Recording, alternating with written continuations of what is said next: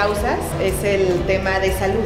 Lo que, lo que ustedes realizan en la labor, pues son los primeros, el, el primer paso, el primer brazo que se recibe para el rescate de una vida y que si no fuera, en ocasiones por la eficiencia con la que ustedes atienden un incidente, podría haber unas repercusiones mayores en las personas. Siempre el saber que se cuenta con una institución que ve por la gente, que ve por la vida de los seres humanos, pues es de reconocerse.